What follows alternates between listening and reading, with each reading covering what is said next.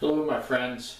I'm going to go over how the basic bell siphon works and what I have in my aquaponics uh, system. okay, right here I've drawn a rectangle representing my grow beds. Okay, the grow bed will have uh, a level of gravel in there, uh, usually an inch or two down from the top surface. Okay, you want to put a uh, drain system in, but to keep the gravel out of your drain, you put in a collar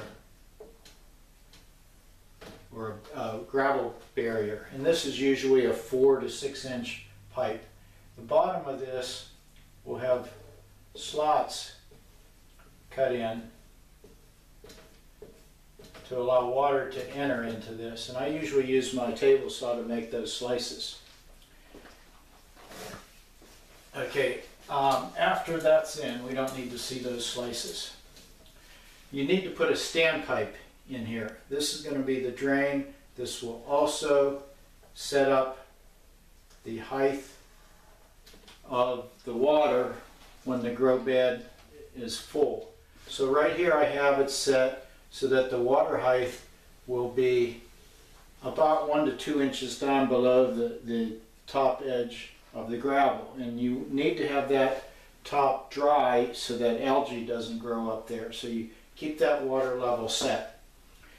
Uh, my first uh, grow beds, mine are uh, barrels, so it'd be a half of a barrel. Um, they're cut in half, so that's leaving about a 12 inch height total. So then I come down, these were set at um, nine inches. Uh, the first ones that I made were this, they were just straight tubes.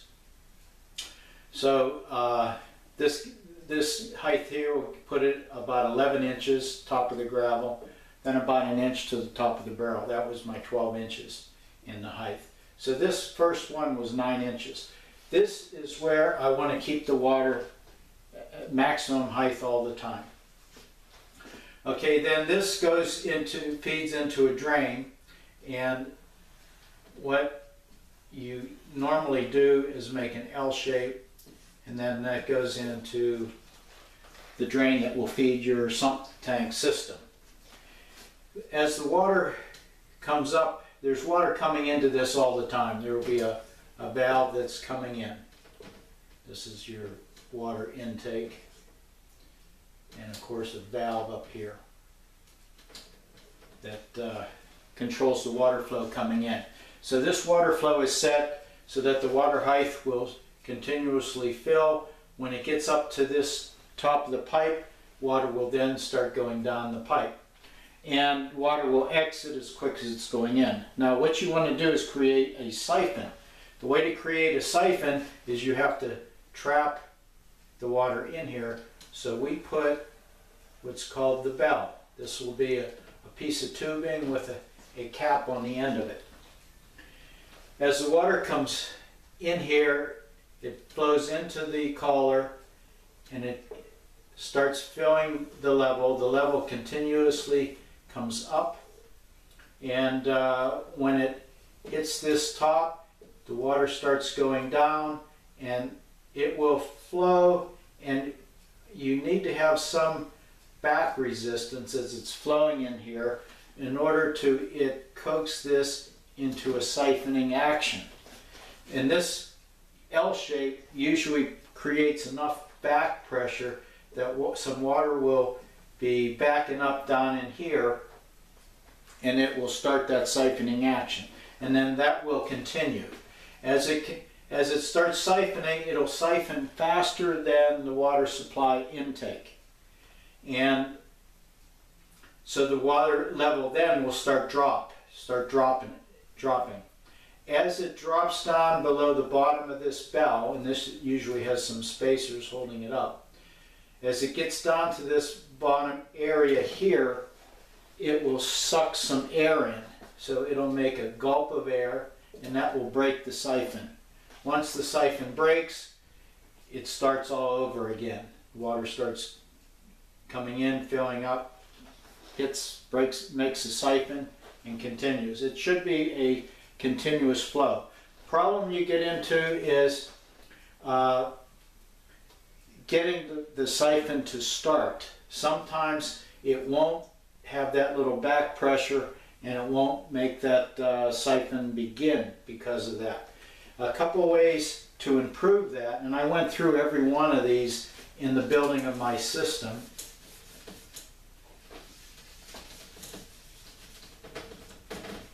We gotta put this back on here again.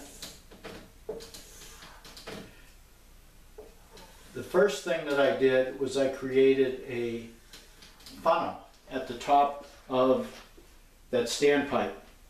This funnel gives a larger area here for the water to come in. And as the water is coming in, it has this type of a capillary action where it's backing up. When it finally does uh, break this uh, force here, it'll give a little rush in there and be in a larger area, it'll come in a little quicker. This also will create a type of a swirling action in there which will cause that little bit of a back pressure and create the siphon to start.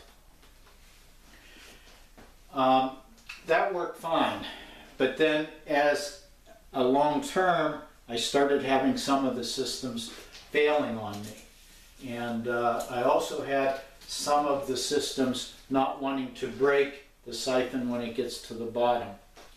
The way that uh, you break the system, and I saw this from Web for Deb. He's pretty good in there on, on this. Uh, he put a little vent in here, and I just drilled a hole in silicone, a, a piece of uh, vinyl tubing. Then you come down here with this vent tube, and you put a cup. And that cup usually is set that it can rise and fall.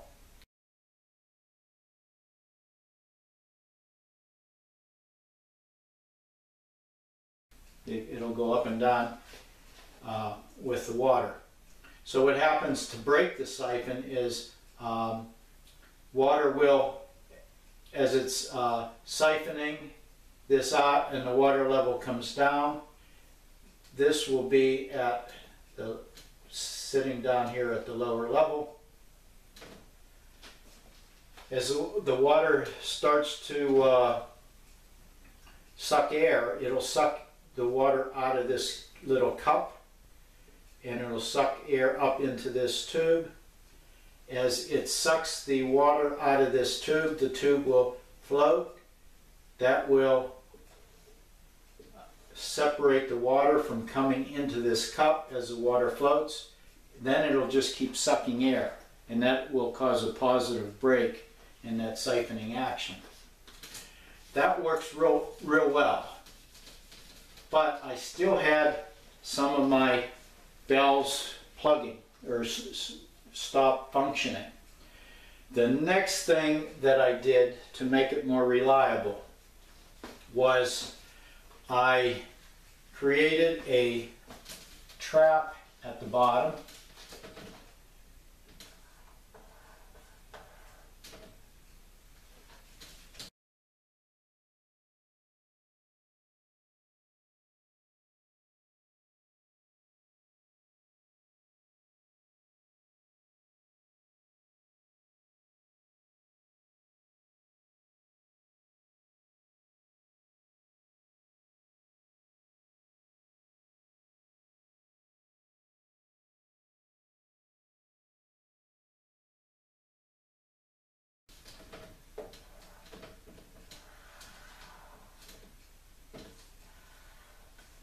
I made these out of 90 degree elbows.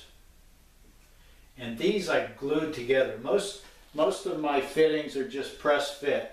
This I do not want to have air to trap. And then the standpipe is plugged into this. I also had a uh, bell shape or a funnel shape at the top. And of course the bell siphon goes across that. What I found out once this action starts working, water comes in through here, starts flowing up when it fills here and starts coming down. Um, this bell wants to float.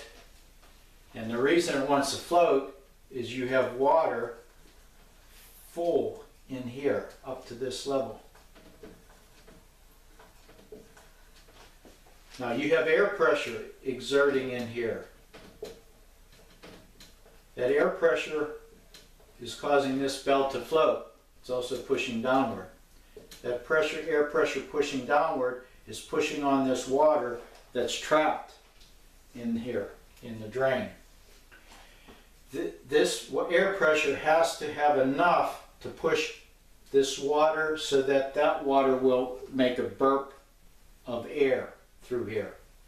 Once the air burps in there, it's kind of like a little bit of a compressed air. It'll come in and uh, that then will uh, create the uh, siphoning action, a more positive siphoning action. But to overcome this thing from floating, I uh, have to put a weight on there to weight it down. So all of these now have weights on it. The other thing that happens because of this air pressure or water pressure that you need to push this out, uh, this water height is going to be higher. So what I found is I had to shorten this standpipe from the 9 inches, I had to shorten it to, uh, went from 9 to 7 inches. Went from 9 to 7 inches. So that set this quite a bit lower.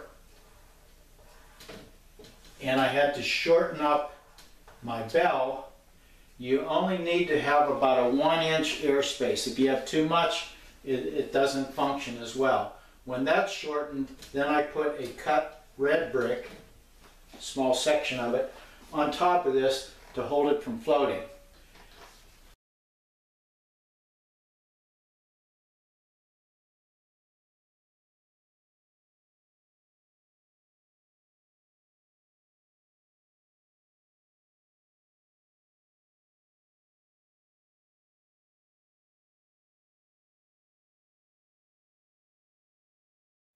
And at these measurements, the seven inches versus the nine inches, the water level that's in the gravel is still at the same depth.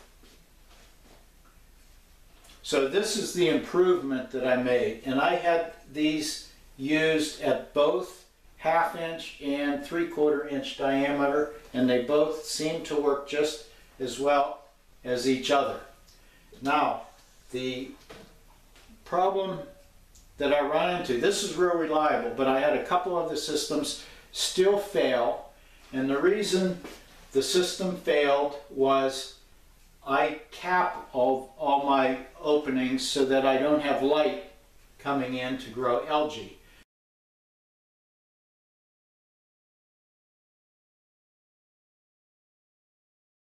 So I was using a four inch collar this is the one with the cuts in it. We can erase this. We're looking at the collar now. This has slices in it to allow water to come in. That's the gravel shield. I was putting a four inch PVC cap over that. I had a cap that was very tight and I, I had trouble getting it off. I couldn't open it up. Well, apparently what that did is it also created a uh, air trap. So it wasn't allowing atmospheric pressure to get in here. You know, the water was keeping it trapped. That caused the failure. So what I started doing with these caps that I'm using is I cut out sections off the sides so that it can just slide over and it left air gaps at that top edge, but it still was enough to block the light.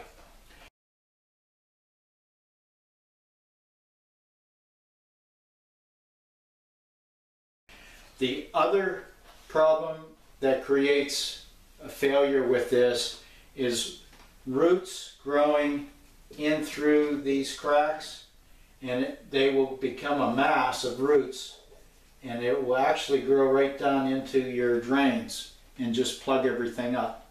So a routine maintenance is maybe once a month or every other month. You go and you just pivot these uh, uh, gravel shields. You just turn them in, in the gravel. And by turning them, spinning them in 360, it'll cut any roots that is coming into there. And I'll do this with the uh, all the gravel shields that I have. In some of them, I'm still using, instead of a four inch, I'm using a three inch, smaller. And at the top, drew it shorter because that won't erase. At the top, I cut a slot on both sides. And this, this gravel shield here is going to, they, they all come up higher than my grow bed. That doesn't race well. So it's coming up higher and what I do is I put a stick in there and I have a, or a collar that I have made and then I, that gives me a lever and I can do a 360 rotation on that. That will cut any roots that are coming into here and then uh, just reach down in there and get a wire hook and snag those roots and pull them out.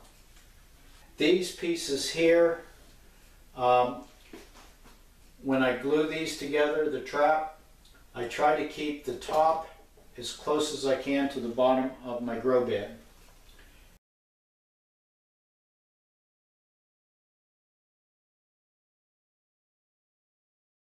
That's about it.